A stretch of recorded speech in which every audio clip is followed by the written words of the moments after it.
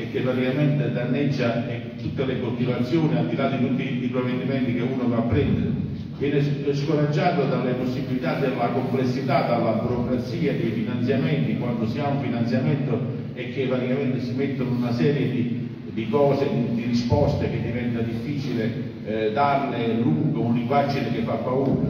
Quindi che cosa si chiede? Si chiede le attenzioni su queste aree interne, di considerarle diversamente delle, delle aree della piana del Serio, cioè quelle più sviluppate, in modo che uno può partecipare e si può, può, diventare un imprenditore anche su queste realtà, andando a valorizzare quello che noi abbiamo. Noi abbiamo valorizzato a Postiglione il Fragolino, che è diventata una realtà, Mellis è un'azienda di cui a Postiglione fatto, abbiamo valorizzato il vino perché è un ragazzo che ha creduto tanti anni fa con il professore Fasani dicendo noi ritenevamo che quell'area dovesse essere destinata alla coltivazione dei vini e via dicendo, oggi questo ragazzo ci ha creduto, ci sono persone che stanno valorizzando il fagiolo di cannella, sia pure ingoiati dalla situazione di controllo, abbiamo visto che una, eh, non vogliamo essere come dire, campanilisti, abbiamo visto che è una grande certezza, una grande realtà di cui va, va sostenuta. Ci sono le aziende, bisogna fare un casificio, intendo fare io, perché prima parlavo con Pasquale Stazione,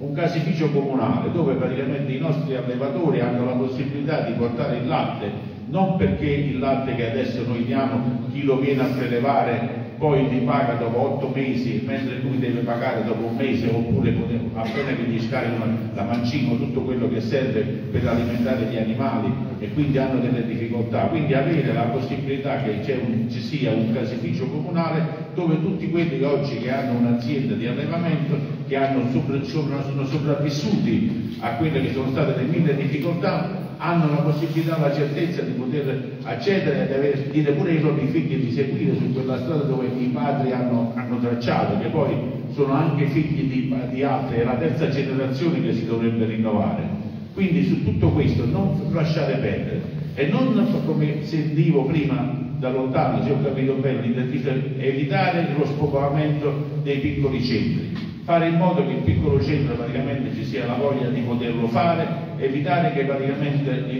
l'agricoltore, quel piccolo agricoltore, quel testardo, pure sia pure per tradizioni, per cultura, quello che sono, ci, sono, ci hanno rimasti i nostri genitori, non coltiviamo più il terreno, perché veniamo scoraggiati. Non coltivare il terreno significa disastro ambientale da tutte le parti, perché poi quando succedono queste cose noi in Italia siamo abituati a cercare chi è il colpevole, ma il colpevole siamo noi, siamo noi che non siamo attenti a quello che c'è intorno a noi e siamo noi incapaci di, dare, eh, di non dare risposte. Ci sono ambientalisti in cui praticamente pensano che soltanto vietando, dicendo no, eh, eh, proteggono l'ambiente. L'ambiente va protetto per quello che sono le caratteristiche, per quello che sono le loro...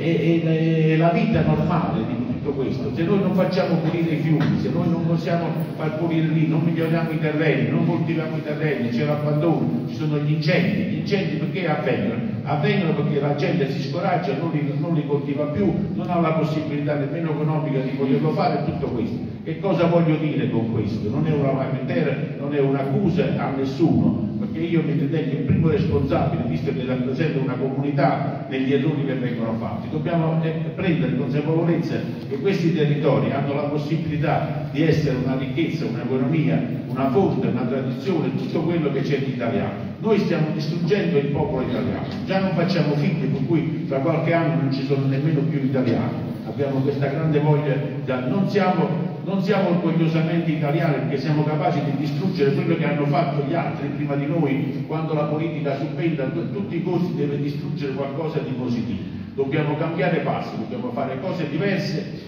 e io sono convinto che con i tre giorni che ci siamo stati qua, la voglio fare perché vedo Maria Teresa che, che mi guarda, in questi tre giorni che siamo stati qui, che abbiamo parlato delle future generazioni, abbiamo parlato delle infrastrutture, che ieri abbiamo finalmente messo sul tavolo una richiesta, caro Franco Alfieri, di una opera che io ho sempre sostenuta, quella che dalla Grotte di Castelcivile vanno le due fondovali, si vanno a collocare perché è un momento di sviluppo del, del territorio e non vantarsi di chi praticamente non fa arrivare un finanziamento sul territorio, ma di portare un finanziamento Oggi parliamo di un'agricoltura, di misure diverse che vanno a salvaguardare gli agricoltori di questo territorio e quindi creando l'agricoltura, potenziando, migliorando l'agricoltura si fa turismo. Turismo come si fa nelle nostre realtà? Affinché dovete costringerci, noi sindaci che siamo piccoli sindaci di piccoli paesi, un po' presedusetti, di metterci insieme e di presentare progetti unici di valorizzazione e di crescita di un intero territorio, non di un singolo paese. Perché solo così si può crescere, solo così si possono avere idee di fare questo. I fondi europei non vanno consumati,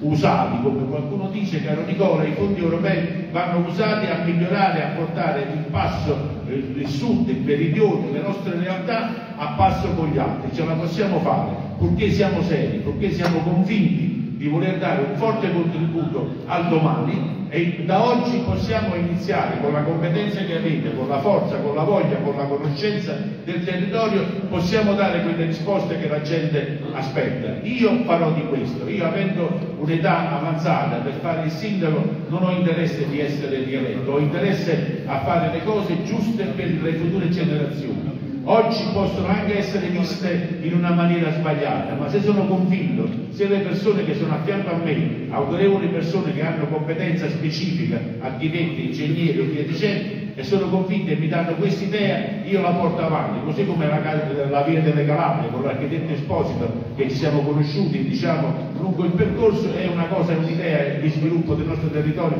io la sostengo, la sosterrò perché ritengo che i nostri territori ce la possono ancora fare, solo salvate il nostro territorio, salvate i nostri borghi con l'appello che faccio io, salvate anche l'economia della nostra provincia e della nostra regione. Questo vogliono essere i tre giorni di Postiglione, con la, la, il progetto, la, le richieste e le risposte che dovremmo dare da qui, da qui a poco. Io sono sicuro con Maria Teresa, che ringrazio Maria e tutti quelli che hanno dato vita a questi convegni che hanno organizzato in questi giorni, che Postiglione in questi tre giorni, al di là della situazione climatica, della poca presenza di degustazione è il fatto che ha discusso e attenzionato a livello provinciale, regionale, nazionale, europeo, perché ci sono stati anche parlamentari europei, di quelle che sono le necessità dei nostri territori. Questo vogliamo, questo voglio, questo andrò fino in fondo perché ritengo che sia la ricetta per salvaguardare la nostra realtà. Questo è il mio mandato e questo farò con l'aiuto di tutti quanti voi che mi state a fianco e che meritate di essere qui e meritate che questo popolo, al di là dei colori politici, vi sostenga fino in fondo perché avete iniziato un percorso di conoscenza, di presenza e di risoluzione dei problemi di questo territorio e quindi andare a sostituire persone che in questo momento ci stanno rappresentando e conoscono un grande errore perché siamo anche questi in Italia bravi a sostituire tutte le persone che fanno qualcosa. Io credo, voglio stare al vostro fianco perché rappresento queste comunità, lo farò fino in fondo per il bene del mio paese ma per gli alunni e per quanto mi riguarda delle future generazioni e con voi voglio esservi a fianco per risolvere questi miei problemi. Questo è l'obiettivo dei convegni e degli tre giorni che noi abbiamo avuto l'onore di eh, avervi qui a Postiglione di confrontarci. Questo è il mio appello e questo è quello che vi chiedo. Grazie, scusate se sono stato... noi, all'inizio, eh, questo evento stretto di tutta la parte culturale, con questi convegni, questi tre giorni, è una full immersion, e il, dottore Sorrentino lo sa perché è stato tre giorni con noi a Postiglione, questa full immersion ha avuto il patrocinio dell'Arci Campania grazie al Presidente della provincia Franco Alfieri con l'iniziativa del consigliere Sorrentino chiamata Atti, dopo entreremo nel dettaglio, ma anche grazie alla presenza, io vi chiedo di fare un applauso perché ci sono degli angeli custodi che hanno fatto una scelta di vita oltre che professionale, che è il soccorso nazionale alpino speleologico della regione Campania, grazie. Dopo parleremo e vi illustrerò tutti quanti i relatori a mano a mano che ve li presento. Uh, Nicola Caputo, assessore all'agricoltura della Regione Campania. Nicola, nuovo qui a Postiglione, uh, tu sei sempre presente, molto attivo per la comunità degli alburni, per i territori delle aree interne. So che questa settimana, come tutte le settimane, da Bruxelles a Napoli, da Napoli alle aree interne in provincia di Salerno hai fatto una full immersion con tante novità. Ecco, eh, qual è il futuro, cosa dobbiamo aspettarci da qui a breve per i borghi, per l'agricoltura e per i piccoli imprenditori, per le piccole e medie imprese? Intanto grazie, scusatemi, se eh, diciamo, chiesto di intervenire eh, per primo, ma eh, diciamo, ho ancora molte tappe da fare oggi, nonostante eh, sia, sia, domenica. Quindi ringrazio anche Franco, Franco Alfieri per avermi concesso questa possibilità del suo, del suo intervento. Beh, intanto oh, complimenti a Carmine per, eh, per, le che sta facendo in questo territorio. È, è un bello stalker e io oggi avevo serie difficoltà a venire, ma pensando alle cose che mi sarebbero state catapultate addosso, detto no, vado a salutare Carmine e gli amici di, di Postiglione perché eh, questa è una comunità peraltro che ho iniziato a conoscere abbastanza bene e questa è un'iniziativa di grande importanza per la valorizzazione delle aree, delle aree interne. Noi dobbiamo darci una mission nostre, eh, per le nostre aree interne. Questa è un'area particolarmente locale, appena dicevo fermiamoci a fare una foto per questo panorama così, eh, eh, così, così bello. Ovviamente, ci sono ovviamente tante, tante questioni, prima su tutta la questione dello spopolamento che è uno dei problemi più, uh, più importanti che attanagliano un po' tutte le, le, aree, le aree interne. Da questa questione noi non possiamo venire fuori semplicemente parlandone o semplicemente diciamo, facendo delle azioni, delle azioni sport. C'è la necessità di un'azione, un'azione strategica per le aree, per le aree interne eh, e penso che eh, diciamo, dobbiamo iniziare a pensare anche ad un dialogo diverso con l'Unione Europea per eh, immaginare una, una, sorta di accordo di programma per, per, per, queste, per queste, aree. Noi però dalla nostra parte dobbiamo fare tutto quanto necessario. Innanzitutto fare maggiormente sistemi, le imprese devono fare maggiormente sistemi, le amministrazioni eh, comunali devono fare eh, maggiormente, maggiormente sistemi e dobbiamo darci una, una mission, una, eh, dobbiamo essere attrattivi per qualche cosa. La, la, la, diciamo, l'iniziativa sulle strettole è una modalità per rappresentare la bellezza di un territorio, cioè trasformare una difficoltà, se ci pensate è una difficoltà avere con i tempi che corrono eh, diciamo una, uh, una, tale consistenza del, dell'asse viario eh, interno, io prima, prima, ho mandato una posizione per arrivare, per arrivare prima, alla fine sono risultato perché mi sono incastrato praticamente in una, in una strettola, però è bellissimo, è un territorio davvero eh, che merita grande valorizzazione. E noi eh, stiamo tentando di fare assolutamente questo in Regione Campania eh, anche con l'assessorato al turismo cercando di affiancare ai nostri asset tradizionali del, del settore anche eh, quella che può essere la potenzialità del settore eh, eh turistico legato alle, alle, aree interne, alle produzioni agroalimentari di qualità, facendo sì che le, le singole aziende potessero divenire insieme al, eh, diciamo, all'attività ricettiva, alla, alla ristorazione, alle località belle come eh, Postiglione di, diciamo, un, unico, un, unico, hub per essere attrattivo eh, per, eh, per, gli operatori, per, per, i, per turisti. Ehm, per fare questo ovviamente c'è la necessità di, eh, di convincerci intanto che eh, dobbiamo partire dalle difficoltà che abbiamo, ma non dobbiamo solo e sempre lamentarci delle, delle, difficoltà, delle difficoltà che abbiamo.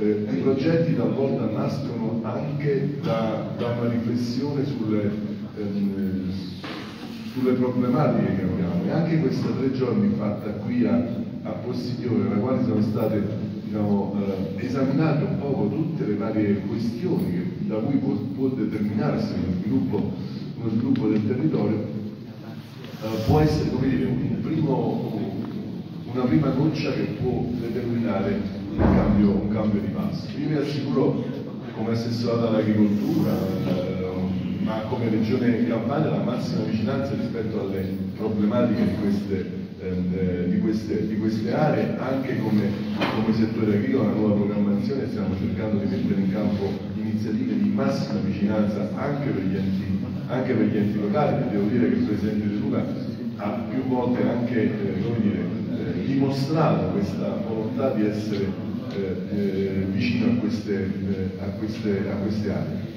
A noi tocca dire, eh, mettere in campo una strategia, ma questa strategia la dobbiamo, la dobbiamo determinare, determinare, insieme. Io ricordo, era alla fine del, del, mio del mio mandato di parlamentare europeo, proposi al Presidente, proposi al Presidente De Luca una, una sorta di accordo di programma europeo, così come è stato fatto in alcune altre regioni eh, europee, eh, e il Presidente De Luca aveva individuato eh, due temi in particolare, uno era l'acqua, vedo qui Guido Busillo, che saluto molto attento a questa, a questa tematica, l'altro era proprio quello delle aree, delle aree interne. Poi le vicissitudini eh, diciamo un po' contingenti, il Covid, eh, determinato diciamo, un rallentamento di questa, di questa indicazione. Io penso che dobbiamo ripartire da quella progettualità e eh, poiché ci stiamo avvicinando già alla determinazione del nuovo, del, del nuovo eh, dire, nuova programmazione 27-34 e queste cose si fanno qualche anno, qualche anno prima della partenza della, uh, della, programmazione, secondo me il la, la vero snodo, la vera novità che possiamo mettere in campo è, è esattamente, esattamente, questa qui.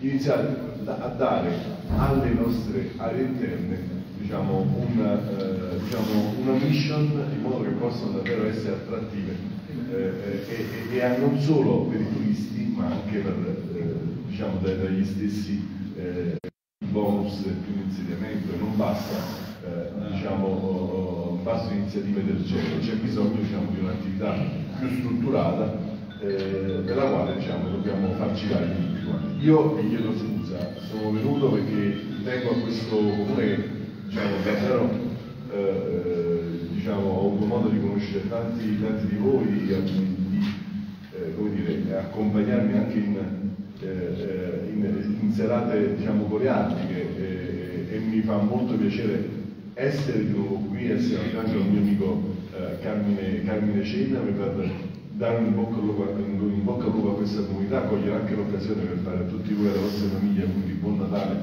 e di, eh, e di buon anno, ma vi chiedo scusa, devo davvero scappare perché mi aspettava una, un appuntamento alle, e ci tengo tanto a Baia Latino, cioè dall'altra parte della campagna alle ore 11.30. Quindi grazie, grazie davvero di cuore e scusate non sono abituato a intervenire nella via, ma eh, apprezzate almeno il fatto che diciamo, impegnato quattro ore per, per salutare tutti quanti voi e, e, sono davvero felice di averlo fatto. Grazie. Grazie noi ovviamente ci rivedremo presto al Postiglione. E ve lo dicevo prima, eh, questo appuntamento, questi appuntamenti sono eh,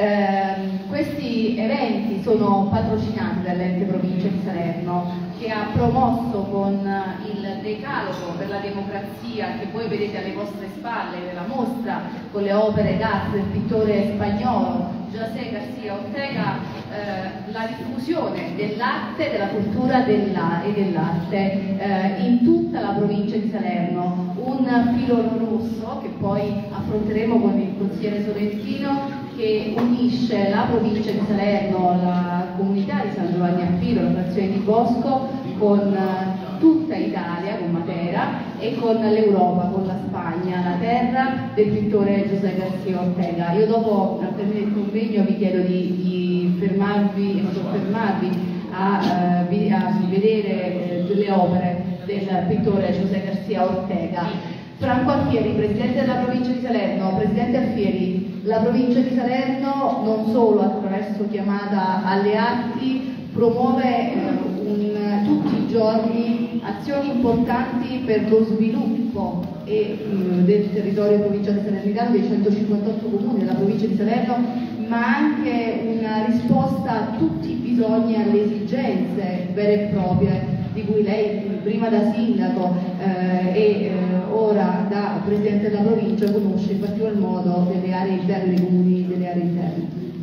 Ah, buongiorno a tutti, grazie dell'invito, ringrazio Carmine per questa occasione. La relazione di Carmine è stata un fiume in piena, quindi gli spunti sarebbero tantissimi, ma io mi attarderò insomma, ad alcuni flash avendo io un'esperienza di amministratore locale da 40 anni e oggi con una visione generale della provincia di Salerno posso dare qualche spunto, qualche suggerimento. Lo sforzo che si sta facendo in questi tre giorni a Postiglione, ovviamente lamentando tante cose che non vanno, la fragilità socio-economica, ma allo stesso tempo partendo però dalle risorse, perché l'elenco delle lamentele ormai lo sentiamo e l'abbiamo sentito da tempo. Dire sempre le stesse cose è inutile perché ce ne stiamo dicendo da tanto tempo, perché poi sappiamo pure che cosa bisogna fare.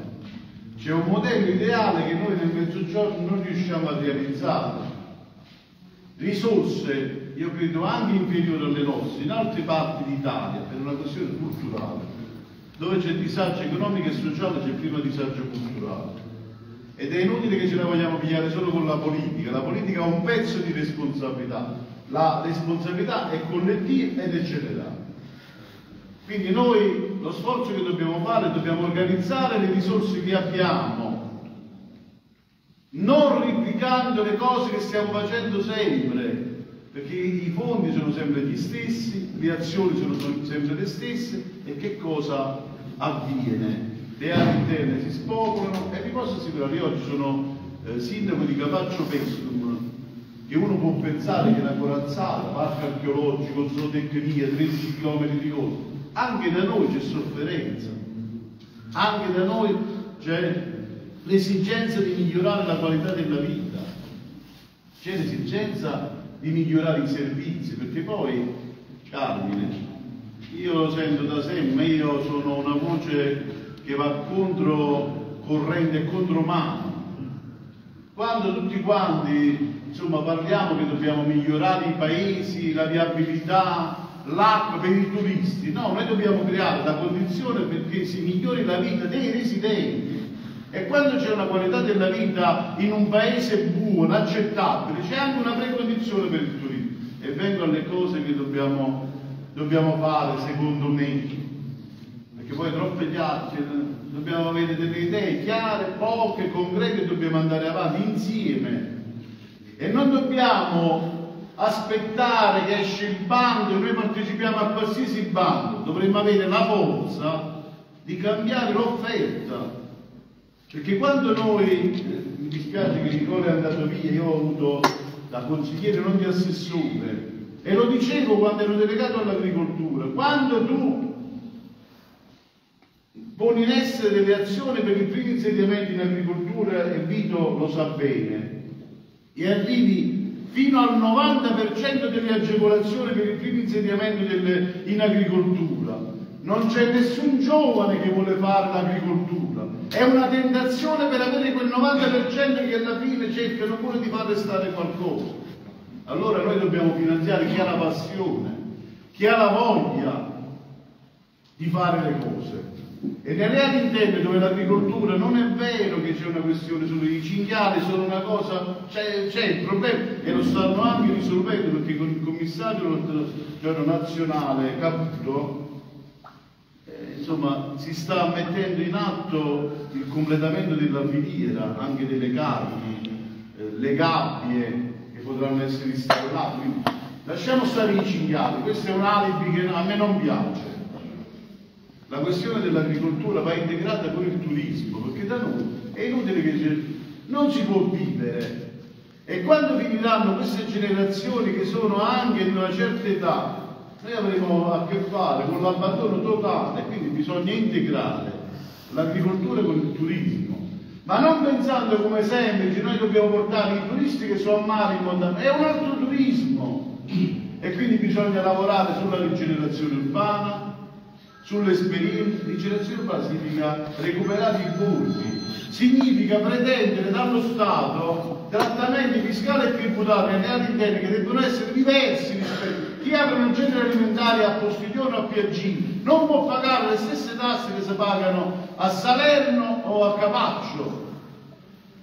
E quindi noi dobbiamo creare delle condizioni diverse per chi vuole restare, per chi vuole investire senza creare tentazione, perché se noi continuiamo a dare soldi a, insomma, a, a pioggia, la gente quando faceva il primo insediamento in agricoltura, il 90% di loro si pigliavano un contributo, non, non dico bestemmie, sono cose che sono così. E poi guardavano vicino a un calendario i cinque anni che passavano per cancellarsi. Allora sosteniamo le aziende che già ci sono, sosteniamo le aziende che già fanno quella, hanno una storia, hanno una tradizione, miglioriamo eh, le produzioni e le qualità, cerchiamo di farle vendere in un mercato che sia interno e che eh, insomma, i prodotti si vendano qua perché c'è bisogno di stimolare quel turismo esperienziale, naturalistico. Oggi abbiamo una montagna come gli Alboni altrove, è una ricchezza. E quindi, allora, il percorso che si farà con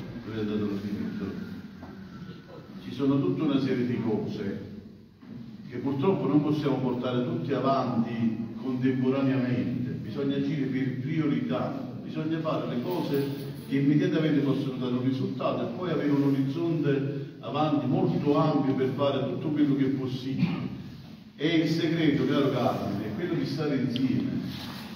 Cioè, tu puoi fare pure un paese, eh, io dicevo quando ero sindaco di Agropoli, che ebbe dieci anni uno sviluppo, dico sì, ma noi non è che facciamo una, una, suite su una nave che affonda, la nave il territorio, bisogna far crescere tutto il territorio, e come cresce? Mettendosi insieme, senza gelosie, senza campanilismi, avendo un progetto di sviluppo territoriale che mette insieme tutte le risorse. E quindi, eh, come provincia di Salerno, ovviamente noi, eh, presidente da, da un anno, e non uso l'alibi che c'è stata la riforma, che non ci il bene comune non ha leggi contrarie, lo sa bene Sorrentino, lo dico. Quindi la provincia c'è, la provincia per quello che può fare, per armonizzare risorse, per mettere insieme, per avere dei progetti, per lavorare su temi importanti. Io, Carmine mi conosce, ci sono, però dobbiamo andare avanti con obiettivi precisi, prioritari. Le cose si possono fare, vedete, le cose, io sono testimone che le cose si possono fare.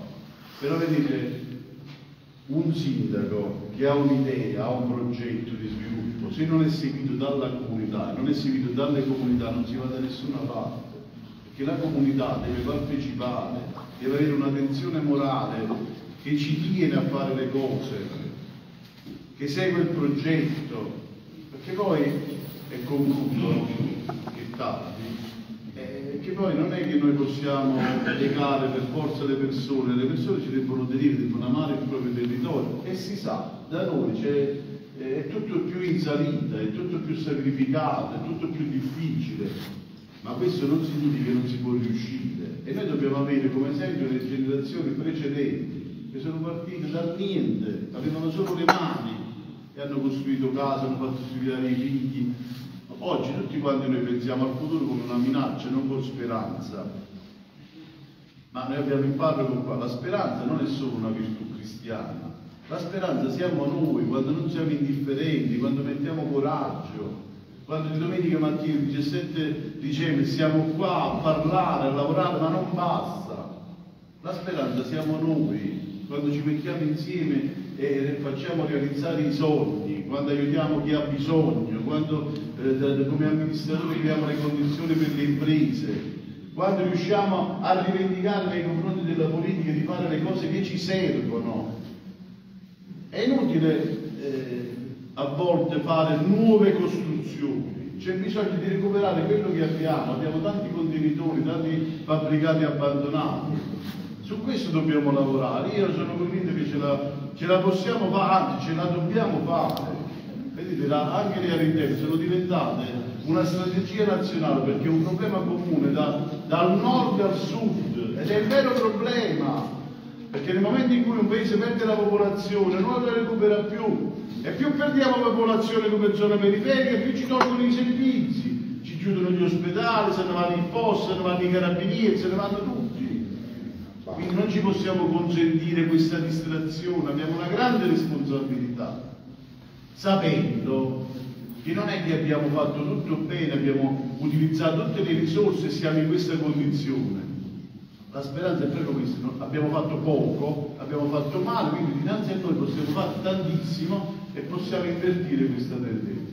Questo è l'augurio per il nostro territorio, soprattutto auguri per il Natale, in salute, serenità e soprattutto che ci sia la pace che mentre noi parliamo di queste cose c'è gente che sotto le bombe, bambini, nel 2023 parliamo di un'umanità che ha perso proprio il senso, ha perso proprio la bussola. Però noi non siamo responsabili del mondo, però possiamo cambiare il nostro piccolo mondo dove viviamo, dove operiamo e dove abbiamo le responsabilità. Buona domenica a tutti. Presidente Alfieri e il Presidente della provincia mi ha dato l'assist per il prossimo relatore. Eh, dottore Francesco Franzese, qui alla mia destra, Francesco oltre ad essere un mio caro amico, una persona con la quale da anni collaboriamo in prima linea per le lotte, posso dire Francesco Franco mi permetti di dire una cosa a me molto cara, per le lotte ambientali contro le industrie inquinanti nell'area del cratere salernitano. Francesco è un giovane imprenditore, un imprenditore napoletano, un padre di famiglia, insieme alla sua famiglia è titolare dell'azienda porta avanti, eh, figlio di terza generazione, di industriali conservieri ed è il proprietario e l'amministratore delegato dell'azienda ICAP La Fiammante eh, che ha sede eh, produttiva nel comune di Puccino, nella zona industriale del comune di Puccino e ha sede amministrativa a Palma Campania, ebbene eh, a, a San Sebastiano. Eh, ebbene, l'azienda La Fiammante ha un indotto occupazionale complessivo di 2.500 padri, mamme, famiglia e ragazzi. Tanti eh, dipendenti dell'azienda sono proprio qui, qui di Postiglione. La presenza di, di Francesco non è, è, stata scelta a caso oggi all'interno di questo contesto così importante, perché La Fiammante e in prima linea Francesco non solo porta avanti una battaglia a tutela del territorio in cui opera, della Valle del Sele, del Tanagro, degli Alburni, affinché questi territori restino territori incontaminati dove poter ehm, lavorare, produrre prodotti di eccellenza agroalimentare. Devi, capire, devi sapere Francesco che Postiglione è una piccola realtà del mezzogiorno che conta tantissime piccole aziende agroalimentari e agroturistiche che fanno una produzione locale per uso eh, proprio per i propri ristoranti, per i propri locali, importantissima agroalimentare di eccellenza e biologica. E quindi Francesco Franzese è un esempio di eh, IGAB La Fiammante di una filiera etica, di una filiera corta, di una filiera certificata, di una filiera sostenibile. Penso di aver introdotto il nostro relatore Francesco Franzese. Buongiorno, buongiorno a tutti, le aspettative sono tante. Grazie comunque per l'invito, ringrazio il sindaco. Eh, io sono qua diciamo, in questa zona, sono a Puccino con lo stabilimento dal 2002-2003. Eh, negli ultimi anni l'azienda ha fatto importantissimi investimenti, diciamo, sia investimenti diciamo, per ampliare la, la, e soltanto con l'azienda tra trasportatori e dipendenti diretti abbiamo circa 400 eh, unità, più abbiamo circa 1000 ettari di eh, agricolo di pomodoro, diciamo, suddiviso in 5 regioni, dove stranamente, a differenza un po' del mondo conserviero, la, la prima regione per fornitura di materia prima è proprio la Campania, eh, che per noi resta diciamo, il, il primo mercato, come appunto prima diceva l'onorevole, bisogna prima consumare quello che si produce diciamo, nel proprio paese, nel, nel proprio, nella propria regione e poi andare, andare oltre. Quindi noi dobbiamo essere consumatori cioè, del nostro territorio per lasciare ricchezza nel nostro territorio. Uh, mi collego subito al discorso che faceva il Presidente Alfieri perché um, Postiglione uh, ha tante eccellenze, tra cui ha diciamo, legumi, legumi che sono famosissimi qua da noi, però sono poco conosciuti. Ha degli oli eccezionali, un po' tutta diciamo, la zona, diciamo questa qui, eh, fino a Puccino Polla, ha degli oli con una, acidità bassissima e secondo me il, la, la, soluzione sta proprio in, cioè partire da quello, partire da, una, un'agricoltura che diventi sostenibile, perché sappiamo tutti che produrre un litro d'olio un chilo di fagioli oggi non porta reddito non porta reddito, quindi chi produce, diciamo, chi sta in agricoltura è costretto a fare altri lavori per appunto portare avanti la propria famiglia. E quindi questo è un lavoro che si fa soltanto per passione, perché è stato tramandato da dei e perché ognuno ha un piccolo terreno ed è un peccato abbandonarlo, lasciarlo così. la, la, la svolta sta proprio nel rendere sostenibile tutto ciò e come si può fare? Si può fare valorizzando questi prodotti. Eh, ci sono tanti piccoli imprenditori che devono dirsi, c'è bisogno di una, di una cabina di regia che porti avanti appunto questi prodotti e faccia uscire anche delle DOP, delle IGP, e secondo me qua ci sono tutte le caratteristiche per creare una DOP, in modo che la bottiglia di olio invece di venderla a 7 euro al litro si vende a 15 euro al litro come fanno in Toscana. I fagioli si possono triplicare i prezzi come si vengono fatti proprio nelle tizie in Umbria. Quindi ovviamente da soli ognuno si sente perso, però bisogna avere la, la, la, la capacità di creare struttura che appunto valorizzi questi prodotti e poi li diffonda nel, nelle migliori cucine italiane attraverso degli chef, cioè far iniziare a conoscere diciamo, queste, queste, eccellenze. La, regione diciamo, e lo Stato negli ultimi anni hanno dato un bel po' di di finanziamenti. Ovviamente, come diceva il Presidente, molti leggono i finanziamenti diciamo, più come un premio che come diciamo, un punto di partenza per, per, sviluppare.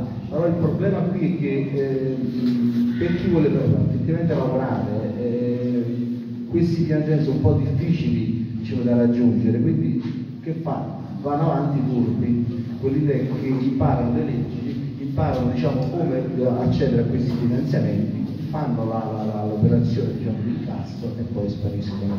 Quindi anche in questo secondo me lo Stato dovrebbe, sia la Regione che lo Stato, mettere appunto dei tutor che eh, possano aiutare i piccolissimi imprenditori a, a, ad arrivare a, a, questi contributi, ovviamente dei contributi che devono servire allo sviluppo, non diciamo, a, gonfiare le tasche dell'imprenditore e poi abbandonare tutto. E poi partendo un po' diciamo, da, da, da, da, queste attività, ovviamente collegare il, uh, turismo, perché oggi il turista, come diceva il Presidente appunto, non è quello che solo che vuole andare in costiera, vuole andare al mare, c'è chi vuole fare anche un'esperienza contadina, chi vuole fare un pranzo contadino, insieme diciamo, al produttore in campagna mangiare pane e pomodoro o, o pasta e fagioli. Cioè, questi sono dei percorsi ovviamente dipendono devono, essere fatti a step. E questo potrebbe portare a uno sviluppo oltre all'economia diciamo, del produttore agricolo anche all'economia del paese. Immaginate quanti B&B si potrebbero aprire in queste zone, eh, anche per, per chi diciamo, ama la montagna.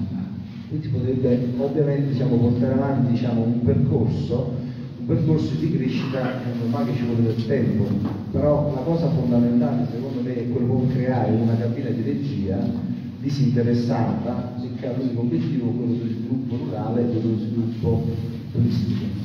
Non vi voglio magari ci sono anche altri, altri me, ne approfitto per fare gli auguri a tutti di buon Natale, di ringraziare anche diciamo, Postiglione, eh, oltre ad essere un bellissimo paese, a, sta appartenendo ancora perché ci sono molte persone di Postiglione che lavorano nella mia azienda e aiutano diciamo, diciamo, l'azienda a crescere eh, perché ovviamente noi da soli non, non, andiamo da nessuna parte, quindi un ringraziamento particolare ai dipendenti della Ferrante che a cui sono anche presenti qua.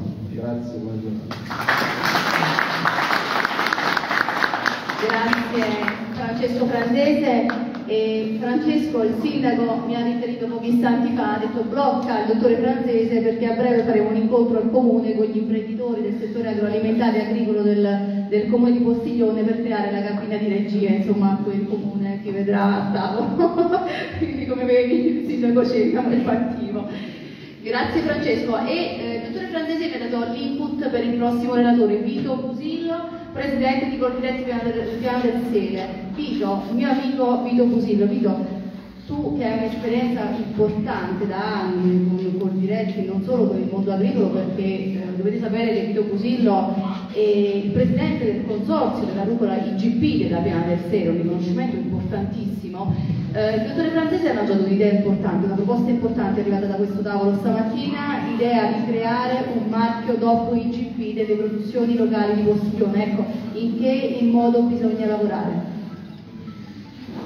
Grazie a te per avermi invitato, grazie al sindaco che è sempre impegnato, che è il motore di questa manifestazione. Io però un po' di considerazioni generali per poi arrivare a quello che mi hai chiesto tu. Questo è un momento importante, eh? anche perché noi come agricoltori, io prima di tutto, io prima di tutto, innanzitutto sono un imprenditore agricolo della piana del Sere, poi gli incarichi che sono diciamo, politici amministrativi vengono ma eh, ho rappresentato e rappresento la Condiretti in questi anni, ho rappresentato e rappresento il consorzio della, della nuvola ICP che ho creato, ma la cosa importante è che la prima riflessione che voglio fare è una riflessione secondo me molto positiva, cioè noi negli ultimi cinque anni abbiamo avuto due grossi problemi, la pandemia da un lato e la guerra degli ultimi anni.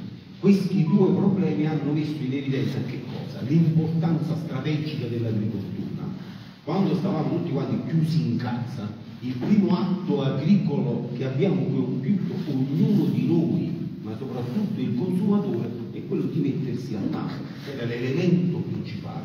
Allora chiuso le cose, chiuse, lo sappiamo, lo sappiamo tutti, chiuse le, eh, le parti diciamo, legate al nostro territorio, chiusa la parte della frontiera, chiusa tutta, tutta l'Europa, oggi quell'atto agricolo allora ha portato, un, ha portato, a mettere in evidenza l'importanza dell'agricoltura e dell'agricoltura come momento legato all'autosufficienza alimentare. L'autosufficienza alimentare paradossalmente è uno dei concetti che andava di moda fino agli anni 40, fino agli anni 50. Oggi è diventato principale, è diventato l'elemento distintivo di questo problema.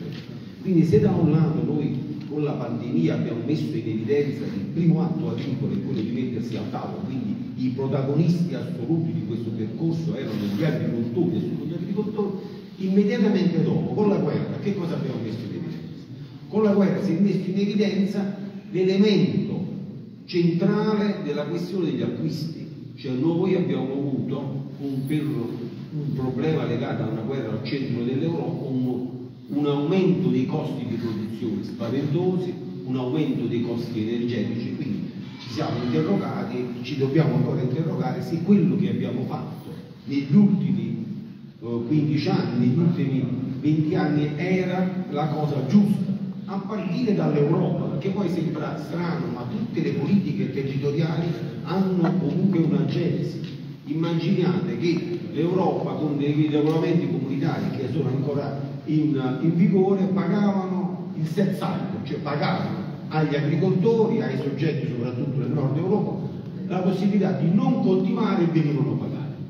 Questa cosa ha generato negli anni un processo agricolo che è legato sostanzialmente, vengo appunto al processo della globalizzazione. Cioè la globalizzazione, se voi la leggete oggi, è, è l'esatto contrario di quello che serviva ai territori, di quello che serviva ai nostri territori.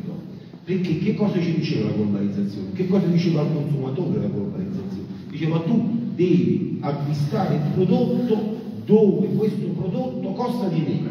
E allora tutto questo ha generato che i costi di produzione, la possibilità in questi territori, soprattutto nelle aree interne, ma non solo nelle aree interne, la possibilità di fare un'agricoltura remunerativa, perché poi noi è inutile che ci interroghiamo, come diceva anche Franco B. Ma se noi non generiamo valore economico, se non generiamo valore sociale, se non generiamo soprattutto valore per le nostre famiglie, come pretendiamo che i nostri giovani, i nostri figli rimangano in un territorio? Allora, per poter rimanere in questo territorio, noi dobbiamo capire e, e, e analizzare i processi le negatività, le, le criticità che abbiamo avuto negli ultimi anni per poter generare una serie di opportunità. Allora, come si fa a generare le opportunità in questo territorio? Probabilmente, evidentemente, tutto quello che è stato detto, tutto quello che ha detto l'amministratore delegato eh, eh, dell'azienda firmante va nella direzione giusta. Io ci ho provato come eh, imprenditore agricolo della quarta gamma, io producendo lupola, quattro anni fa ci siamo inventati il consorzio Lupoli. Vi posso dire con valori diversi, con processi diversi, che noi a un anno e mezzo dalla certificazione abbiamo fatto 28 milioni di euro di valore della produzione. Però questo è un caso particolare perché andiamo in un, in un, in un settore che è specifico, che è un settore che certamente non può essere messo dire, in relazione a questa cosa. Quindi tutto l'aspetto dello, dello spopolamento, problema delle democrazie, della demografia, è un problema reale. Però noi che cosa possiamo e che cosa secondo me dobbiamo offrire ai giovani? E dobbiamo offrire ai giovani una serie di cose che secondo me sono l'elemento che ci chiede il consumatore. Che cosa chiede oggi il consumatore? Il consumatore chiede distintività quindi distintività di un territorio, chiede tracciabilità, rintracciabilità. Prima facevo una riflessione con Franco O Franco, no, noi siamo arrivati secondi in questa classifica mondiale, la mozzarella di Bucola Campana. Ma voi immaginate quello che è successo negli ultimi 15 anni contro la mozzarella di Bucola Campana? Cioè ogni 20 giorni c'era uno scandalo e questa cosa, anche con tutti gli scandali, con tutta, quando una cosa è di qualità, quando la qualità è così eccelsa, non c'è scandalo che tenga. Quindi per tornare a noi veramente di avvio alle conclusioni, quindi prodotto a marchio va bene, va bene soprattutto perché noi nella distintività dei processi, noi dobbiamo dirci una cosa, guardate se noi chiediamo a un giovane di produrre olio nel nostro territorio, l'olio al di là della vendita locale, chi è il soggetto che oggi compra in Italia? Il, il soggetto che soprattutto vende ai consumatori. Oggi l'85% della nostra produzione è commercializzata dalla GDO. Quindi il rapporto che noi dobbiamo creare, qua dobbiamo essere bravi, di mettere insieme il prodotto a marchio che è un valore economico, è un valore sociale e soprattutto un valore culturale, perché tu ti porti un territorio dietro. Chi è che non te lo scittiva sui cultori? Parliamoci chiaro. Cioè, però c'è bisogno di mettere in rete un processo. Noi abbiamo la DOP del, del, dell'olio d'oliva, ma questa DOP ci, ci interroghiamo perché l'abbiamo buttato su questa quarta gamma che è nata nel 1994-95 perché se io sono andato in America ho un problema. Non lo dirò non mi piace troppo la carne però mi mangio il prosciutto mi mangio tutto i ricco allora se devo mangiare la carne ho difficoltà, la pasta non si poteva mangiare la mattina con questi amici, io andavo al supermercato a prendermi la frutta come la portata e vedevo che la quarta gamma, che cos'è la quarta gamma? Sostanzialmente erano i prodotti più tagliati, fatti a fette, quindi io compravo 3 o 4 cose di, di angurie, di, di, di, di melone cantalupo e me ne andavo. E vedevo che i consumatori, cioè i soggetti andavano tutti verso quella direzione mi ha, mi, ha, mi ha, mandato 28 messaggi, ho detto bene, non si preoccupare, mandate sotto per, per, per, perché ritengo che sia necessario con positività in futuro. Grazie. Grazie, Presidente Coldiretti Piana del Sele e agricoltura, ma anche turismo, ma soprattutto archeologia, un turismo legato all'archeologia, perché tutti questi temi creano l'indotto economico oltre che culturale del territorio. E questo aspetto l'ho tratto con il nostro architetto Luca Esposito, eh, referente di, del progetto Strada Reggia delle Calabrie per l'Associazione Nazionale Archeo Club d'Italia. Grazie architetto e ben tornato qui a Consiglio. Grazie. No. Ne approfittiamo nel frattempo così facciamo della presentazione che ho preparato per illustrare un pochettino la nostra idea, la nostra idea di, eh, di turismo e di promozione di questi territori.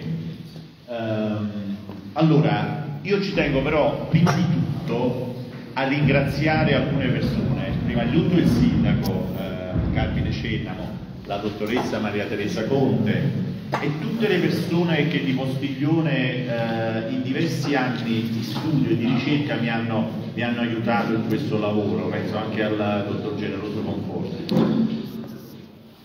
Perché ci tengo a ringraziare? Perché non è scontato avere questa passione per il proprio territorio sindaco è un vulcano, una persona piena di passione, diverse volte ci siamo anche scontrati, no? E questo è un bene perché significa che ama il proprio territorio con passione. Noi abbiamo bisogno di passione per rilanciare questi territori. Uh, io faccio parte di un'associazione, si chiama Archeo Club d'Italia, è un'associazione che si occupa di promozione uh, dei piccoli territori, promozione della cultura e dell'archeologia. Uh, abbiamo pensato che in questi territori c'è un'occasione importantissima e l'occasione viene data da una storia, da un racconto, il racconto della strada Regia delle Calabrie. Eh, in tanti eh, che abitano questi territori non conoscono la storia di questa strada, pensate, era la strada più importante del sud Italia, la strada che collegava la città di Capua all'epoca dei Romani, la città più importante del territorio campano con Reggio Calabria eh, una strada che ha 2200 anni di storia, magari se riusciamo a far andare avanti la, la, la presentazione vi faccio vedere rapidamente che cos'è questa, questa, storia. Una storia che sta, che sta riscontrando tanto interesse a livello nazionale, a livello anche europeo, vi spiego perché. Uh, oggi come giustamente abbiamo ascoltato durante gli interventi delle persone che mi hanno preceduto, oggi l'unica strategia per rafforzare, per evitare che i giovani scappino, siano costretti a scappare dalle aree interne del meridione è quella di fare rete, ma fare una rete che sia legata non solo, diciamo, giustamente alla promozione del, del territorio, della, eh, della, diciamo, del potenziale agroalimentare, enogastronomico, delle bellezze naturali, ma la, una rete che parte anche dallo sviluppo culturale, dalla storia. Noi abbiamo una storia che è veramente molto, molto, molto affascinante. Pensate, io sono stato contattato addirittura dal uh, direttore dell'Istituto Nazionale di Vulcanologia di Bologna, voi direte che c'entra? Postiglione eh, conserva l'unico esempio di stazione di posta settecentesca ancora integra nelle sue forme. Alla stazione della Duchessa, la stazione di posta della Duchessa, si è fermato a metà Ottocento Robert Mallet. Chi era Robert Mallet? È diciamo, uno dei padri, uno dei pionieri della moderna sismologia, della vulcanologia. Eh, un, un ingegnere che si recò in questi posti a seguito del terremoto del 1853 e scrisse diversi trattati, da cui poi sono nati tutta una serie di volumi legati allo studio della sismologia. Sono stato contattato perché eh, ricorreva i 200 anni dalla morte del, di questo vulcanologo e quindi stava, stava venendo pubblicato un libro sul vulcanologo, ma da Bologna non sapevano dove fosse la taverna della Duchessa menzionata negli scritti, negli appunti di questo ingegnere, quindi mi hanno contattato e li ho dovuti indirizzare a, a questo luogo. Ecco, quindi pensate, abbiamo una storia così eh, intensa, così interessante, così particolare, che affascina, che interessa, e interessa non solo eh, diciamo, eh, la popolazione locale, regionale, ma, ma, interessa a livello nazionale. Noi siamo riusciti a, a, coinvolgere la televisione, la RAI, che ha fatto diversi servizi, si sono fermati anche qui uh, alla Duchessa e per il 2000, eh, 2024 abbiamo in programma qualcosa ancora di più importante a livello di, di documentari eh, diciamo, legati alla, alla, storia di questi territori. E, e non solo, ma anche quello che eh, è legato al, alla, alla, storia dell'enogastronomia, dell'agricoltura e qui mi rifaccio al tema eh, di questa tre giorni no? legata a, a, questa interessante iniziativa che è stata eh, portata avanti dal Comune di Postiglione. Um, oggi eh, le forme di turismo si stanno evolvendo molto rapidamente, anche purtroppo eh, grazie o a causa eh, del Covid. Ehm, oggi l'utente medio del turismo è, è, molto più interessato alla riscoperta di, dei paesaggi autentici, dei borghi dove si vive ancora eh, rispettando il ciclo della vita, il ciclo della natura. Eh, portare eh, le persone che vengono da diversi luoghi d'Italia, del mondo, e noi già abbiamo iniziato questo tipo di, di percorso con la nostra associazione, significa farli fermare in borghi come Postiglione eh, o nei numerosi borghi che si trovano lungo questa strada. Pensate, noi come associazione loro mi raccontavano che non hanno avuto questa, questa, stessa facilità nel mettere insieme tutti i comuni. Questo perché? Perché ho riscontrato, e, e questo ci ha dato interesse, ci ha dato lo stimolo a continuare, ho riscontrato un grande interesse da parte delle amministrazioni. Poi chi più, chi meno, insomma, eh, con alcuni si fa più fatica, con alcuni invece riusciamo ad andare avanti molto più velocemente. Però questo fa capire che comunque noi in questi territori, e parliamo di tutta la zona meridionale della Campania, le aree interne della Campania, perché lì è il grosso dove si concentra la storia di questa antica strada, eh, abbiamo un forte senso di appartenenza. Noi, eh, se ci pensate, no? noi siamo molto bravi, siamo molto accoglienti, siamo molto orgogliosi di dimostrare e di raccontare il nostro territorio questa è, è un'opportunità ed è importante metterla eh, a frutto non come uno sforzo diciamo isolato, perché quello purtroppo non porta a niente, ma eh, mettendoci insieme, perché solo mettendoci insieme possiamo dare forza a questo racconto. Questo è un racconto interessante, è un racconto molto importante perché unisce storia, unisce eh, agricoltura, unisce eh, archeologia, architettura. Io adesso eh, potrei parlare per tanto tempo, so che il tempo è breve, però dietro a questo racconto ci sono tanti, tanti fili, tante, eh, tante strade, ecco per un gioco di parole da seguire. Eh, la strada Reggia delle Calabria passa per Portici, a Portici c'è la Reggia Borbonica di Portici che ospita la facoltà ehm, agraria Ecco, eh, oppure questo perché? Perché eh, poi la strada attraversa altri territori come la, la piana del Sele, eh, quindi c'è un legame, c'è un legame con la storia e con eh, l'ambito accademico, sempre in campo di agricoltura.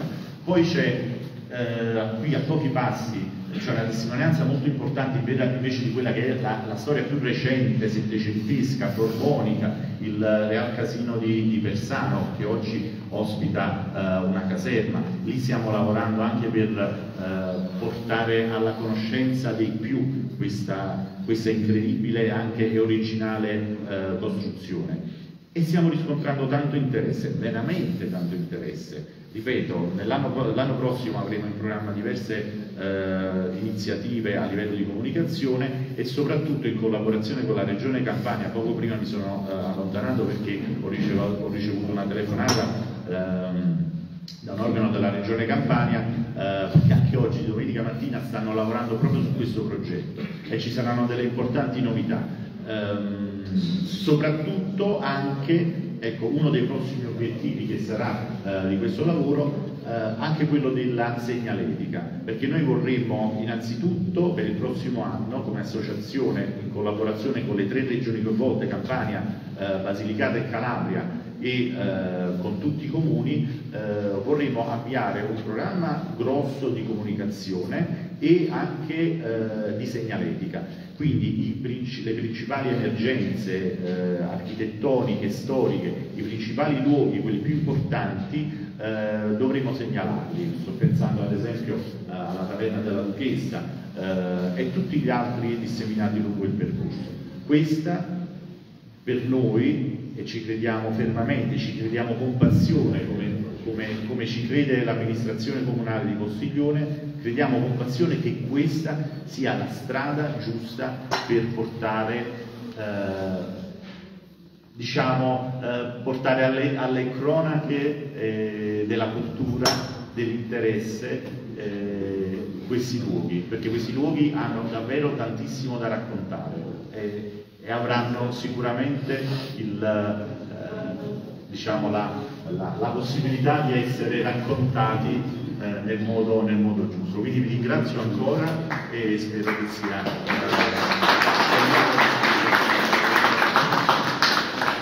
È sempre bello ascoltare eh, l'architetto, le relazioni dell'architetto Luca Esposito perché il progetto Strada Reggio delle Calabrie è stato promosso dall'Archeoclub eh, di Archeoclub Italia, è stato promosso e condiviso dal Ministero del Turismo e dal Ministero della Cultura, quindi questo è un grande progetto che ci consentirà, che consentirà alle aree interne, alle nostre aree interne, eh, da Reggio Calabria a Castrovillari di poter avere, perché già è cominciato Pasquale, un, un percorso turistico di sviluppo del territorio anche autonomo, quindi benvengano tutte quelle condizioni annesse e connesse. Grazie architetto Esposto e abbiamo qui accanto a me Giovanni Maiurano. Eh, Giovanni è eh, un membro del Corpo Nazionale di Soccorso Alpino e Speleologico della Regione Campania, che come vi dicevo prima interviene nelle situazioni di eh, catastrofi, calamità e di emergenza eh, nei salvataggi. Eh, Giovanni, il ruolo del soccorso alpino è un ruolo importante, essenziale per la Regione Campania, questo è il Corpo Nazionale di Soccorso quanto è importante, noi siamo a Postiglione, Postiglione ha una grande ricchezza che è la montagna, no? la sua montagna che tu ben conosci, ecco quanto è importante mettere in sicurezza nel circuito anche turistico, perché oggi qui come sempre ci sono gli escursionisti, gli appassionati della montagna, del trekking e non solo, ieri avete fatto anche le arrampicate qui in montagna come soccorso alpino, quanto è importante mettere in sicurezza la montagna, creare le condizioni da parte dei, dei, comuni, in questo caso degli enti o del parco, affinché possa essere fruibile in quindi completa eh, sicurezza e autonomia da parte degli esperti del settore. Grazie. Allora, io sono Giovanni Giocano, sono dirigente del Soccorso Alpino Campano. Il Soccorso Alpino eh, nasce in Italia, nasce in Italia eh, 70 anni fa Quest'anno eh, celebreremo il settantesimo anno. Era un, un corpo di volontari eh, che andavano in grotta, andavano in montagna e si mettono insieme per aiutare eh, i colleghi che stavano in difficoltà. Subito dopo cresce e diventa un corpo. Oggi eh, è un corpo nazionale che poi si suddivide su delegazioni regionali. Noi in Campania siamo, in Italia siamo 7500, tra parte volontaria e non volontaria.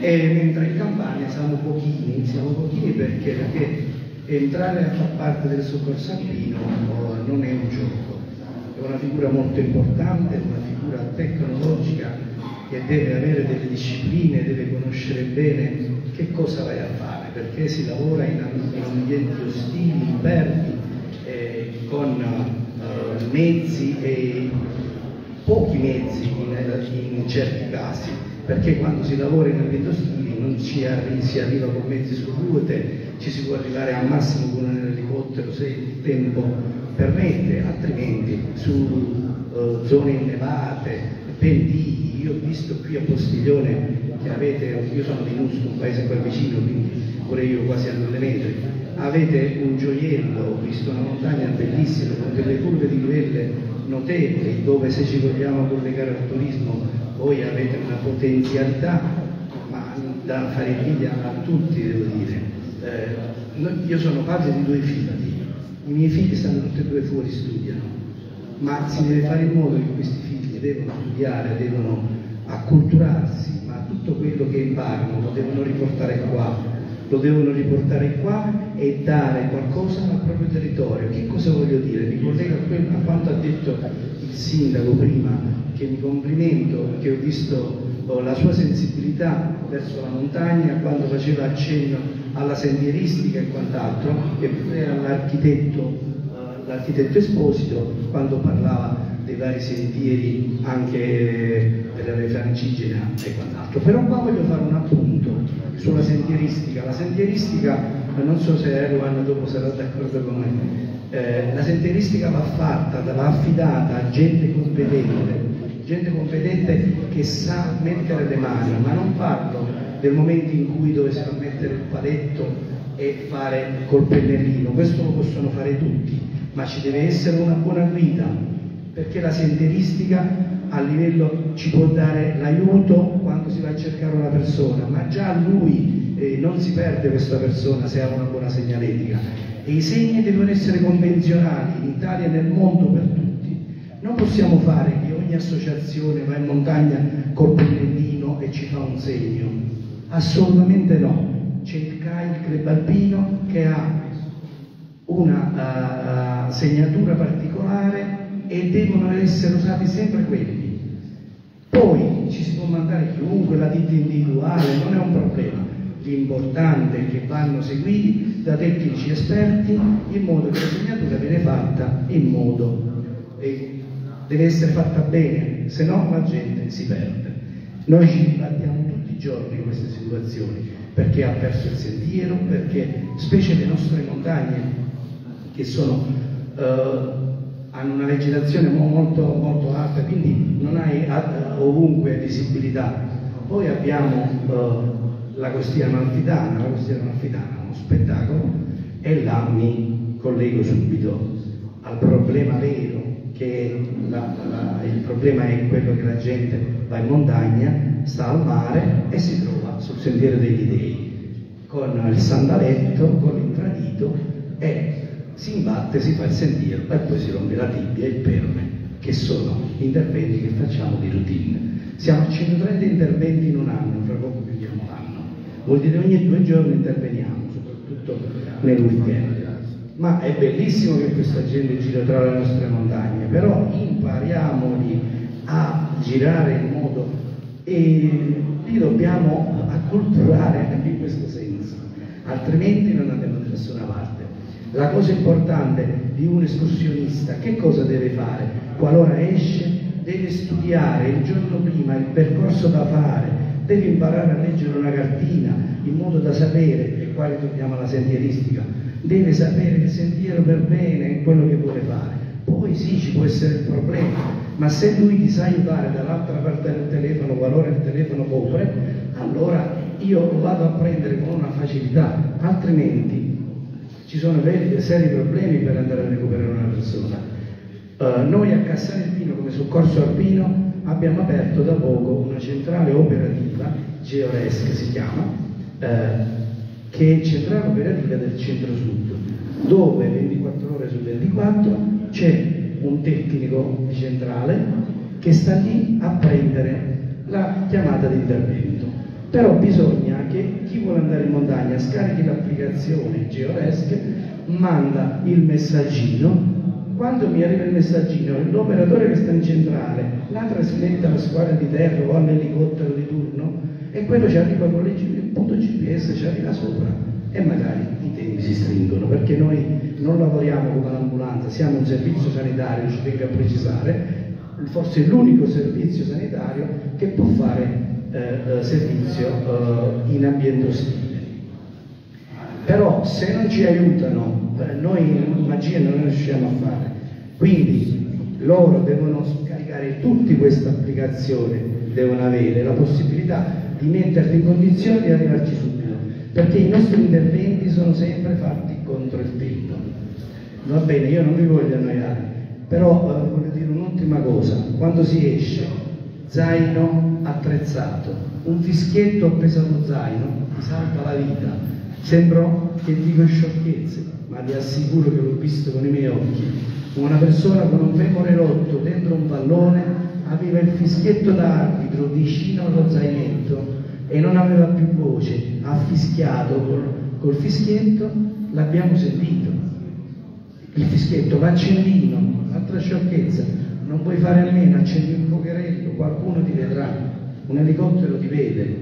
Vestiamoci con un abbigliamento adeguato, sia tecnico che ci protegge dalle intemperie. Il nemico importante della montagna è l'ipotermia.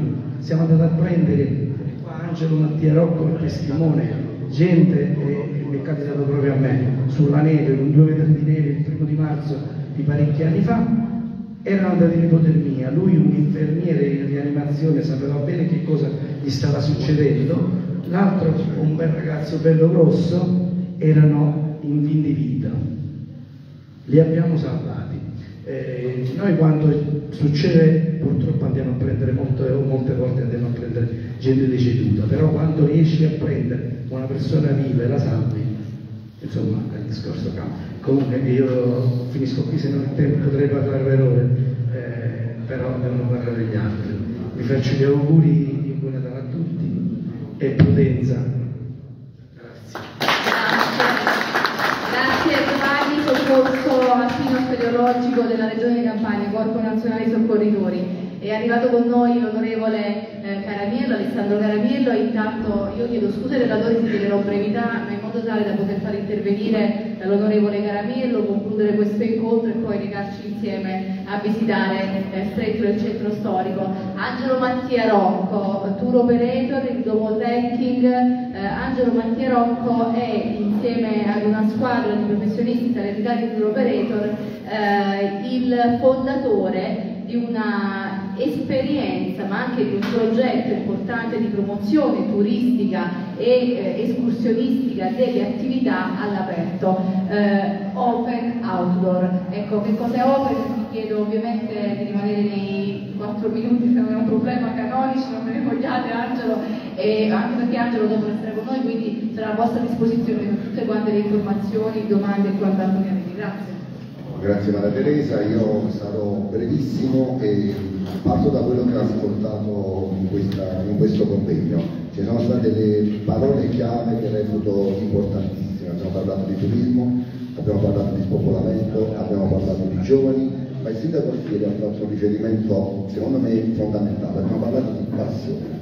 Il nostro come società di servizi turistici, come tour operator, è proprio un percorso nato da una passione circa 21 anni fa 21 anni fa all'età di 15 anni insieme al mio attuale socio De Falco abbiamo ipotizzato quando prima di noi già c'erano operatori di valore come Peter che è presente qui in, in, sala, che il turismo escursionistico, il turismo legato alle zone interne, il turismo di montagna, potesse essere quella valvola di sfogo per noi giovani del territorio, per fare in modo di non abbandonare queste zone e rimanere qui e lavorare del, di quello che offriva la nostra, la nostra terra avevamo questo sogno, questa idea di poter vedere non tanto la zona costiera, quella che era già conosciutissima da tanti turisti, ma la zona interna, la zona soprattutto quella della montagna, dell'alta montagna di cui parlava Giovanni Maiorano, come un punto di riferimento, un punto di partenza, un punto sul quale costruire.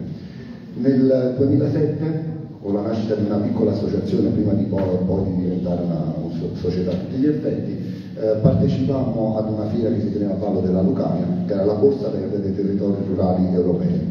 Lì eh, ci incontrammo con Angelo Coda, che è il titolare della Icom Advertising, un'altra società con, quale con, la quale collaboriamo e abbiamo realizzato appunto Open Outdoor Experience e insieme, pian piano, portando, mettendo insieme le forze e capendo che il territorio le zone interne e il turismo outdoor potevano rappresentare una sorta di sviluppo per il nostro territorio, decidemmo di seguire un percorso lungo, perché dal 2007 al 2023 possiamo parlare di un percorso lungo, che fosse fatto a tappe, delle tappe fatte di esperienza diretta sul territorio, di accompagnamento di turisti, quindi di escursionisti sulle varie zone di montagna, appunto abbiamo parlato di sentieri, abbiamo parlato di indicazioni, quindi abbiamo, parliamo anche di guide ambientali escursionistiche che è una figura che spesso viene dimenticata. Nel corso degli anni, prendendo come riferimento il caso studio l'altopiano del lago Lacino, dove abbiamo lavorato tantissimo, quindi abbiamo dati alla mano, dove addirittura siamo riusciti a riconvertire una località scistica con la chiusura delle funivie in una località a vocazione prettamente escursionistica, quindi abbiamo dimostrato che in sette anni di chiusura impianti, oltre allo sciatore, c'era altro da fare, ci siamo resi conto che era il momento, era il momento necessario per poter fare il salto di qualità. E quindi cosa abbiamo deciso di fare?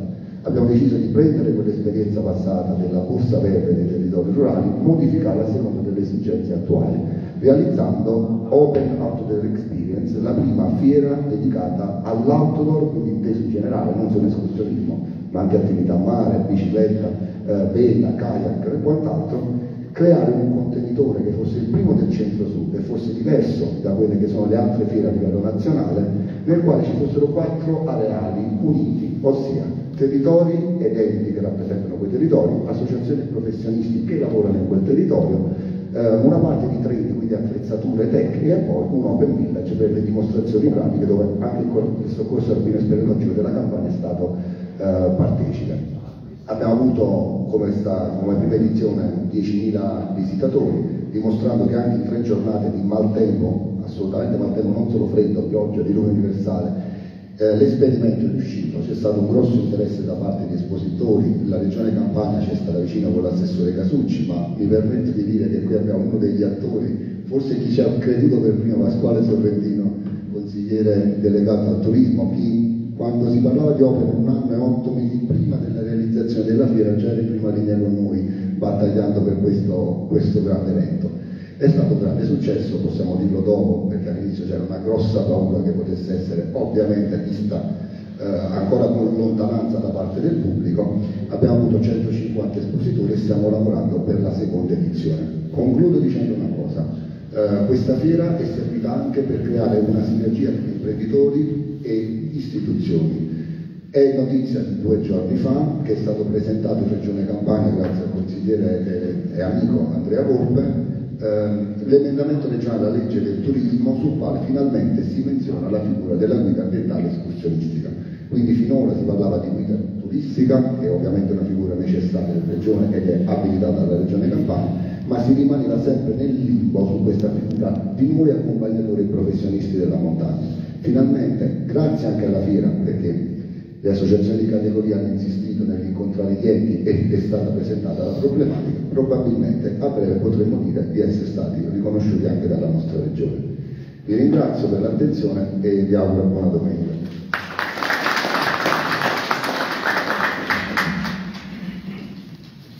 Grazie Angelo Mattia Rocco, Pasquale Sorrentino. Consigliere Sorrentino, ovviamente eh, lei è il cuore, anzi tu sei il cuore pulsante, no? da, partendo dal decalogo della democrazia, da questa chiamata alle arti, questa ventata di arte, di cultura e di turismo che hai messo insieme e che stai portando in giro per la provincia di Salerno passando qui per Postiglione ma anche promotore di iniziative e condivisore di iniziative come quella di Open, di iniziative come quelle promosse al Comune di Postiglione e tantissime altre. Ecco, un, un, catalizzatore, la provincia diventa un catalizzatore di, di, una fucina di idee, di programmi, ma soprattutto di progetti da attuare che vengono attuati poi nel concreto. Anzitutto grazie. Eh...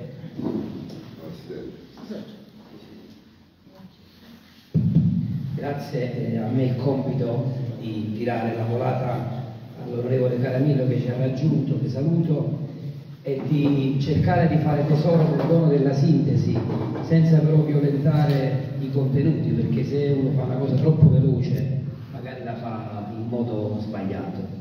Ho di fronte a me lo sguardo amorevole di Carmine Cenna, da padre di famiglia e padre di una comunità, e quello nordico di Peter che sta di fronte a me e, e, però prima di parlare della buona politica che si è convocata qui a Postiglione, questo è un merito di chi questa comunità l'amministra insieme a Luigi e agli altri colleghi, vi invito a considerare come la grande storia del Novecento si fermi qui a Postiglione. Voi avete questo sito ospita la suite del decalogo della democrazia di José García Ortega, che è uno dei massimi esponenti dell'arte del Novecento allievo e amico di Picasso, che ha utilizzato l'arte come forma di denuncia sociale per quello che non andava bene ed è un monito per la politica. L'arte è politica, è propaganda, in questo caso è educazione della classe dirigente, perché Ortega nel 1976, nella tavola numero 7, onorevole,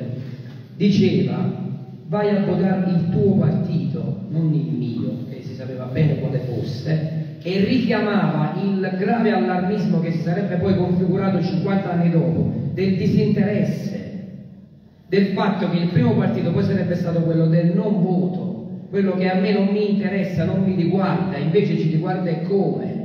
Ci riguarda perché a questo tavolo, oltre alla politica, c'è l'impresa, c'è l'associazionismo, ci sono gli amici delle associazioni del, dell'ecoturismo, del trekking, per questo questo evento è importante. E io mi sono accampato a Postiglione tre giorni e lo rivendico perché, a parte perché il freddo è terapeutico, sindaco te lo dico da operatore della riabilitazione, il freddo è un antinfiammatorio naturale, quindi ce ne andiamo da qui tutti quanti più longevi, starne certo.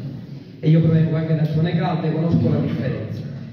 Eh, però non voglio venire meno al tema che, che intravedo dal, dall'amico qui presente, agricoltura, turismo e politica per il mezzogiorno. Allora, anzitutto dobbiamo uscire da una da un equivoco che per anni ci ha disorientato. Il turismo non è un volano, il turismo è un sistema che deve funzionare perché deve connettere quattro elementi. Domanda, offerta, prodotto e struttura. Si parla di turismo quando puoi permanere in un luogo per più tempo. Quindi l'obiettivo oggi è nelle strutture, nelle aree interne, aumentare i posti letto. Primo punto. Se non ci mettiamo questo bene in testa, Parleremo di animazione territoriale, di presenze, di rumore, ma non di turismo. Turismo è far rimanere le persone per più tempo nello stesso posto. In che modo? Amando, conoscendo per bene quello che il territorio offre, i cui primi assessori sono chi lo abita, non chi fa momentaneamente l'assessore al turismo. E i comuni non fanno strategia turistica, quella la fanno gli operatori, gli operatori commerciali che devono essere sostenuti dai comuni. Quando si chiude questo cerchio è già il primo passo, perché questo, la provincia di Salerno è la provincia, ma questo è un problema di, tutti, di tutte le pubbliche amministrazioni, si confondono, non sempre, turismo e spettacolo, sono due cose diverse. Se non usciamo da questo equivoco rimaniamo sempre a, parlare di, a parlarci tra di noi e a non capire. Lo diceva bene lui quando parla di passione, di produzione, di aderenza, di numeri, il turismo parte dai numeri, l'agricoltura è la connessione perfetta con la vocazione del turismo. E parte da un'esperienza di amministratore locale di San Giovanni a Pito, vice sindaco da otto anni. Noi abbiamo avuto come tanti comuni fondi per le aree marginali, in molti comuni i fondi per le aree marginali sono stati spesi in maniera diversa, hanno pensato di dare un senso ai commercianti, dare il contributo una tanto. Noi abbiamo preso tutto il contributo e l'abbiamo buttato in un unico intervento avevamo un vecchio macello, diventerà quello che bene diceva Carmine Cennamo pochi minuti prima, il, il caseificio comunale di San Giovanni a Piro, che, che, raccoglierà tutto il latte prodotto dagli allevatori di quel territorio, che non è territorio di mozzarella, è territorio di cacio ricotta, capra cilentana, quindi tutti i marchi ci sono, e sarà principalmente il luogo dove produrre alimenti per la ristorazione di Scario, di San Giovanni a Piro e Bosco e quindi dieta mediterranea che ha tre elementi che tutti dimenticano, pensano che tutti sia un menù, uno stile, lo è un menù e uno stile, ma le, la dieta mediterranea è principalmente produzione, autoconsumo e convivialità, perché eh, il fast food è un modello che non appartiene al cilento, noi siamo per le cose slow, lente, la dieta lenta, il turismo lento, il camminare lento, l'incedere lento ti fa vivere più a lungo. La dieta mediterranea parte da questo, mangiare quello che ti produci, altrimenti se pensiamo che sia un primo, un secondo e un contorno, ma il primo è fatto di una pasta che arriva con, fatta con grano canadese, di che, di che dieta mediterranea parliamo? Questi sono diciamo, gli equivoci da cui dobbiamo uscire, ma lo possiamo fare, lo possiamo fare come ha detto Cennamo, mettendo al tavolo tutti gli attori e i protagonisti, ciascuno dalle, con le proprie provenienze, ciascuno con le proprie storie e se andiamo sul terreno impervio, impervio del turismo rurale, della sentieristica, io penso, lo dico senza timore di essere smentito, che il luogo naturale per ragionare di turismo escursionistico, di manutenzione, sia il parco. Il parco del Cilento deve fare tre cose, non 300.000, partendo invece dalla, dalla manutenzione dei sentieri, le aree marine protette e deve mettere insieme i comuni. Poi dentro queste eh, diciamo, questo trillo, c'è di tutto, ma non possiamo fare tutti la stessa cosa. Io, da consigliere provinciale delegato al turismo, e vengo al tema della legge del delirio, io la chiamo legge delirio, del Rio è quello che l'ha scritta, delirio sono i risultati. Io, eh, e te lo dice bene Angelo, eh, Angelo, quando un anno e mezzo fa abbiamo parlato di opere, io ho detto noi andiamo in regione, ci devono finanziare questa cosa perché è troppo importante non farla. Noi abbiamo fatto azione su 158 comuni senza manovrare un euro. Abbiamo fatto buona politica mettendo insieme, creando relazioni, io non ho neanche il dirigente d'area, sindaco. Il turismo non, non c'è nelle, nelle, nelle, competenze della provincia, ma, ma ti pare normale, la provincia di Salerno, costiere, 158 comuni, siti UNESCO, non ha il turismo come... E io l'ho fatto a mani nude, a mani nude. Però anche qui, quando mi vengono a chiedere le cose, molto spesso ci si riduce a niente, il cantante, l'evento, cioè è una malattia cronica. Quello che uno deve fare, quello che fa quello il comune a fianco, senza pensare che il comune a fianco è un, non è un competto, è un amico con cui bisogna mettersi insieme. Chiudo perché abbiamo al tavolo chi fa parte dei processi norma, normativi del, dell'Italia e quindi della, della Repubblica Italiana, perché la legge del Rio che ha distrutto e ha depotenziato le risorse alle province, non le funzioni, perché le funzioni sono le stesse, cioè la provincia deve manutenere 2500 km di strada, sistemare 258 scuole, ma pensare a 158 comuni però senza i soldi dell'anno prima, ma va pare normale andare a fare la spesa al supermercato senza avere il portafoglio. Come ti ritiri? Vuoto. E ti trovi le strade rotte e ti trovi tutti i problemi tutti sul tavolo. È un problema del legislatore.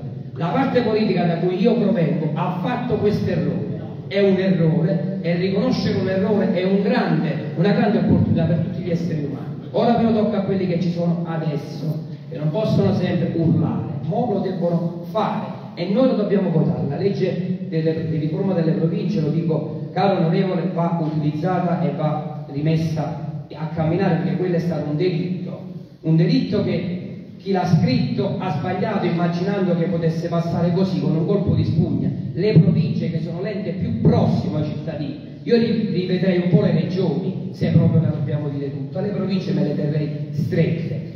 Per questa ragione io eh, cioè, cedo in questo momento il microfono a lui, senza però non ringraziare, lui non mi conosce, però questi amici del soccorso alpino qualche anno fa, nel 2019, nel mio comune, noi siamo stati per 20 giorni, Sky, eh, CNN, cioè ha parlato il mondo intero del mio comune, purtroppo è una cosa non bella, perché un escursionista, Simon Gauthier, si è perso nei sentieri, peraltro fu un'operazione purtroppo per lui eh, impavida e molto inopportuna perché non era un sentiero indicato, si era avviato in una cosa in cui non c'era la possibilità di uscirne perché, vabbè, però il mese di agosto, grazie al soccorso alpino, siamo riusciti poi purtroppo a, a, a comunque recuperare il corpo di questo ragazzo francese che è morto verosimilmente dopo pochi minuti perché si è deciso insomma un'arteria e quindi è diventato veramente difficile per lui risalire, però quanto è importante quello che ha detto, eh, mi ricordo il cognome, Maiorano, cioè da un lato il dovere dei sindaci e, dei, e degli enti locali di mantenere e dare un senso pratico, ma anche eh, chi, chi, si avventura deve, avere, come, deve possedere le, le, cognizioni minime di base. Quindi io approfitto di, di questa platea per ringraziare e per tributare un doveroso riconoscimento al vostro lavoro, che il 99% sono dei volontari, non me lo posso dimenticare, il 20 di agosto, quando il tuo collega mi disse alle 6 di mattina noi andavamo a portare i cornetti, il caffè perché diventò un accampamento quel comune per 20 giorni, lui mi disse Pasquale, oggi ritroviamo il ragazzo, abbiamo completato, chiuso la ricognizione, l'unico punto dove può stare sta là, alle 20.01 mi arriva il messaggio, alle 20.02 Sky dà la notizia, come l'ha saputo Sky in 60 secondi è un mistero ancora per me, però vi, però vi, voglio ringraziare pubblicamente perché avete dato dignità a una storia purtroppo finita. Male. Volevo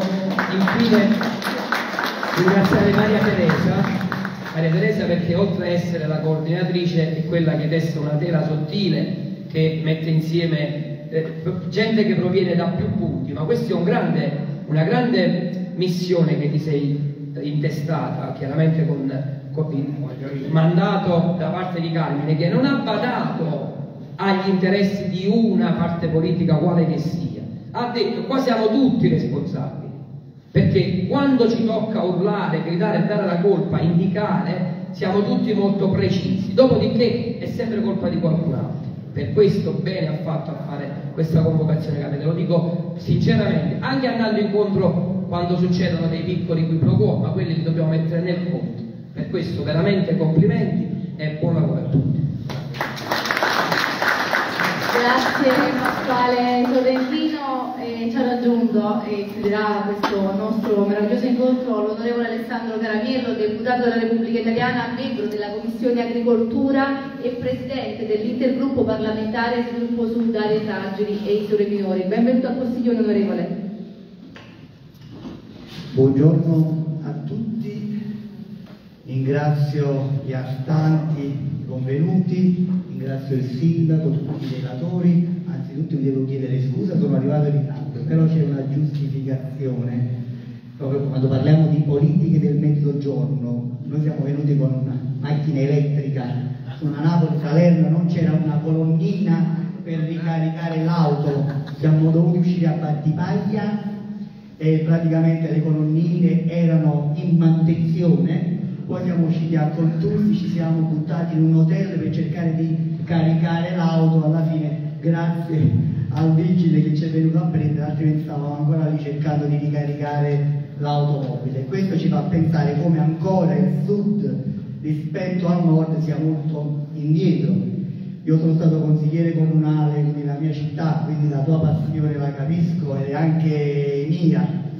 Ho vissuto a Torino per tanti anni, arrivato a un certo punto sono voluto scendere nuovamente al sud, quando ero a Torino parlavo volutamente napoletano perché mi aspettavo che qualcuno mi chiamasse Terrone così da poter sciorinare tutta la nostra storia da Ruggero il Normanno fino a Francesco II, avendo poi questo castello meraviglioso quale mi diceva anche il vigile molto appassionato, che mi raccontava la storia, quindi un conoscitore del territorio e questo gli fa onore, mi ha spiegato in un quarto d'ora tutto il territorio di, di Postiglione e l'ho visto veramente legato alla propria terra. E noi meridionali dobbiamo fare questo, anzitutto dobbiamo essere legati alla nostra terra e pubblicizzarla prima nella penisola ma anche per il mondo intero, perché abbiamo una storia millenaria che va tutelata e sostenuta. Questa diciamo era un po' eh, la premessa per giustificare il fatto che sono arrivato tardi perché sono partito da Portici alle 10 meno 10, quindi sono rimasto bloccato in zona. Vi porto un'esperienza.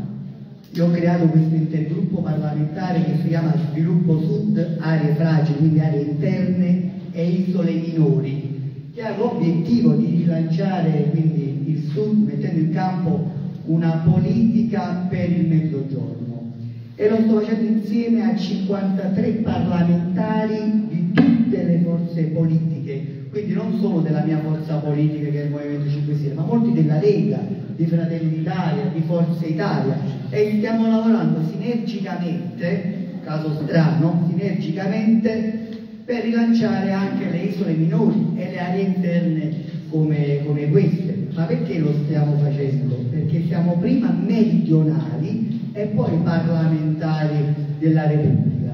Allora se ci spogliamo del vessillo partitico, quindi da quel simbolo di partito e ragioniamo da meridionali, forse riusciamo a portare a casa qualche risultato. Eh, questo intergruppo è supportato da un comitato tecnico scientifico, ci sono anche amministratori locali, ci sono una serie di, di sindaci, consiglieri regionali, e questo comitato tecnico scientifico, c'è anche Confindustria, c'è la Presidente Nazionale di Federcostruzione, tutta una serie di ordini datoriali, quindi la politica che ascolta la società civile e viceversa. E abbiamo prodotto delle proposte di legge, una proposta di legge sulla valorizzazione delle isole minori e per dare continuità all'articolo 119 della Costituzione che serve a limitare o eliminare gli svantaggi di chi vive su un'isola rispetto a chi vive, chi vive sulla terraferma. E su questo vi devo dire che è una parlamentare della Lega, che ha una casa tra l'altro a Leone e a Lipari, e si sta battendo molto, quindi insieme a noi, cioè lei viene da Re, che sono minoranza, per dire vogliamo lavorare insieme istituendo un osservatorio per il trasporto per le isole minori, lo facciamolo insieme, facciamolo come intergruppo, diamo voce ai 53 parlamentari. E quindi sotto quel simbolo adesso di eh, sviluppo sud di questo intergruppo stiamo lavorando insieme. È una novità, una cosa che potrebbe funzionare. Oltre questa, oltre questa proposta di legge abbiamo presentato 19 emendamenti in legge di bilancio, 19 emendamenti. La settimana prossima sarà discussa al Senato, perché un anno viene discussa al Senato, un anno alla Camera dei Deputati. Chiaramente la maggioranza parlamentare è stata bloccata dalla maggioranza di governo, perché come avete potuto leggere è praticamente una manovra blindata, quindi non possiamo presentare emendamenti. Però i parlamentari della maggioranza che compongono l'intergruppo si sono ripromessi insieme a tutti quanti, almeno nel mille proroghe, nel mese prossimo affronteremo quest'altro provvedimento, almeno di far eh, approvare qualche atto o proposta di legge oppure emendamento, andiamo avanti con le interrogazioni, con gli ordini del giorno. E questo diciamo, dicevo è una novità. Per quanto riguarda il Sud, l'equità territoriale, un'altra proposta di legge. Ogni anno sulla legge di bilancio il 34% di quei fondi in legge di bilancio dovrebbero andare al sud, perché siamo il 34% della popolazione, della popolazione. Quando il Presidente Conte riuscì eh, a portare 209 miliardi, una fetta di 800 miliardi dei fondi del PNRR, riuscì perché, perché esiste il sud, che è l'area più depressa d'Europa, su tre principi, cioè il prodotto interno lordo, il tasso di disoccupazione e quindi il 34% della popolazione. Di questi fondi del PNRR che dovrebbero essere spesi entro il 2026 dovrebbero arrivare al sud il 40%, almeno l'ultimo ministro del, del sud che è stata la Campagna definì questa cifra, cioè il 34% dovrebbe andare al sud. Purtroppo il nuovo governo ha spostato una serie di fondi i sindaci lo sanno bene, alcuni progetti importanti sono stati delocalizzati nuovamente al nord. Ma al di là dei fondi del PNRR, noi dobbiamo avere la capacità, e gli amministratori locali del sud lo sanno fare, la capacità di poter intercettare tutti i miliardi europei che arrivano ogni anno anche dall'Europa.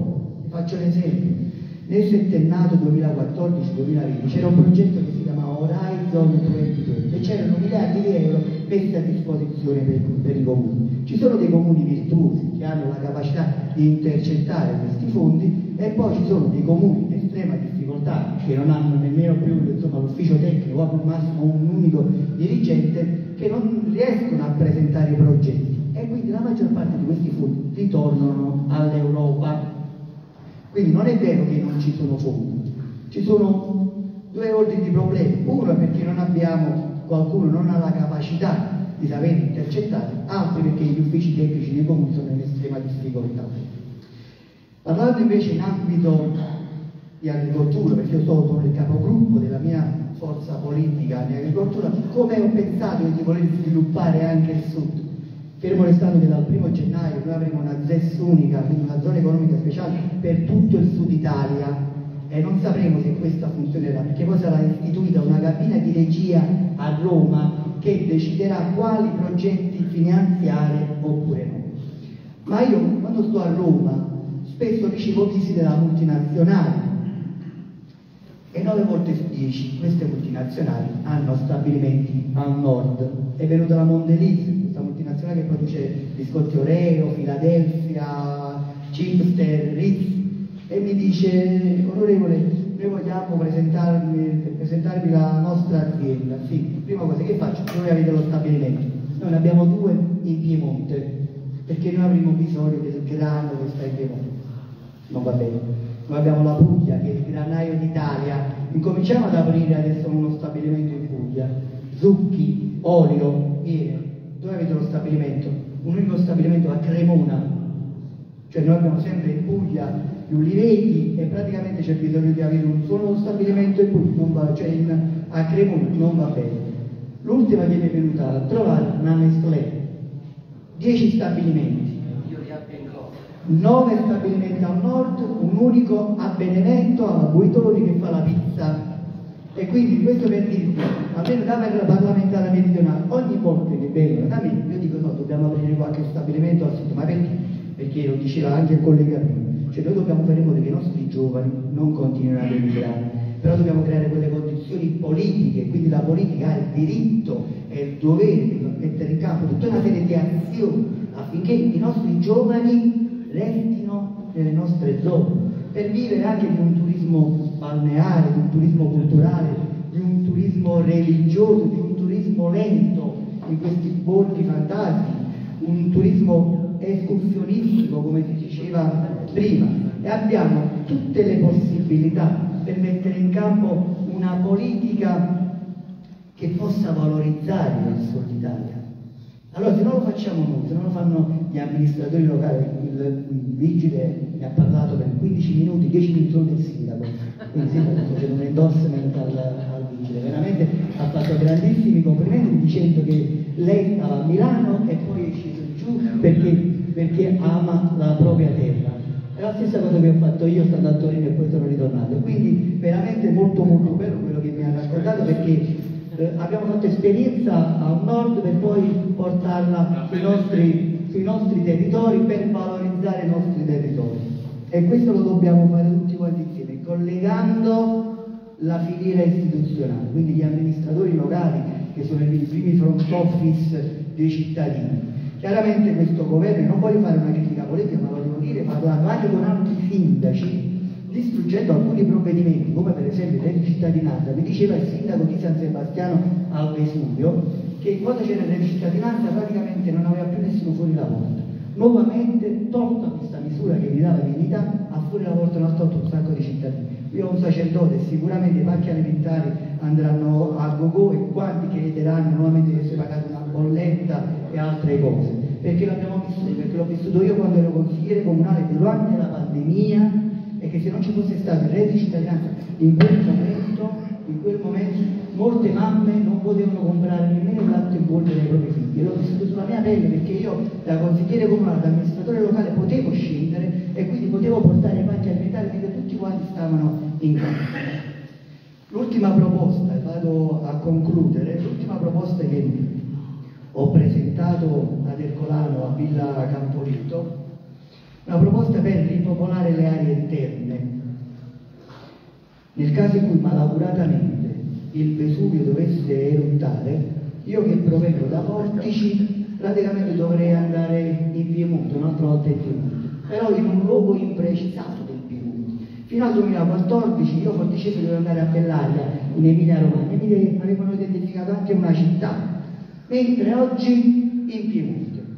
Visto che ogni anno e in vent'anni abbiamo perso quasi 2 milioni di cittadini meridionali, perché non andare a ripopolare le aree interne? E con un progetto di un ingegnere, Enzo Coronato, portato anche all'attenzione della regione Campania, un progetto che ormai ha 15 anni, ha identificato già 180.000 alloggi disponibili censiti, quindi non tende da campo, così da portare i cittadini dell'area vesuviana, quindi 600.000 cittadini, nelle aree interne della regione Campania in modo da ripopolare. Quando ero consigliere comunale in commissione ambiente, noi affrontammo la problematica e praticamente i porticesi dicevano di portarli nel Cilento invece di portarli in Piemonte. C'è un progetto che poi condividerò anche con i sindaci della zona perché dovrà essere fatto un gemellaggio. Nel 2024 per me sarà impiegato anche per fare questo tipo di progetto e portarlo avanti per cercare di far cambiare il piano di evacuazione della protezione civile e da un'emergenza farla diventare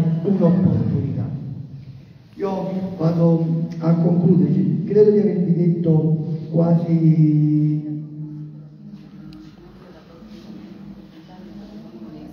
questo è un lavoro che dobbiamo fare con uh, diceva Maria Teresa che il sindaco chiede il riconoscimento UNESCO della grotta di Santa Elia.